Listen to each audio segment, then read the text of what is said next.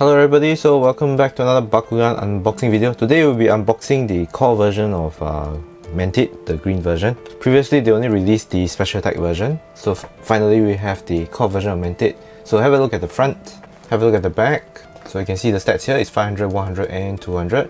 Have a look at the barcode in case you're interested. Yeah, the date is 5th of March 2023, BMP.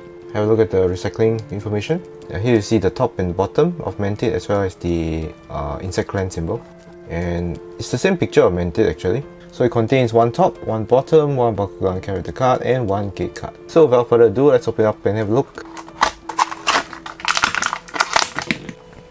Yeah, so this is what's included, the top, the bottom, and the cards. Let's take a look at the cards first.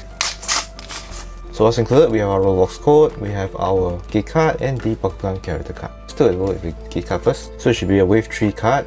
Yeah, it's a Wave 3 Insect M03 INSA. So far from so many unboxings, we know that the A and B cards will be upside down, but the C and D will be the right side up. Very weird looking map. This looks like spider webs. This looks like a field. Not sure what this is. And our character card, we have Mantid, 500, 100 and 200. Oh, draw a card. Yeah, not many cards have this skill, the draw card. Okay, so these are the cards that's available. Let's take a look at the Bakugan. First up, let's take a look at the dates. 24th of March 2023, BMP. So this is a new mo. Never seen this before. Top looks, he looks quite fierce. Oh, the claws can be moved back. It looks quite nice, even by, by itself like that. Okay, so joining it together, it will look like this. Okay, let's see how it rolls. Okay, closed up. It's like this. Insect symbol. Okay, let's roll it out. One, two, three, brown. Nice. Nice sound. So there is a manual part. Okay, so you're supposed to just pull it out. It's not bent. Originally I thought it was a flip mechanism, but it's not. It's pulled out. So it look like this. Screenshot. Yeah, look like this.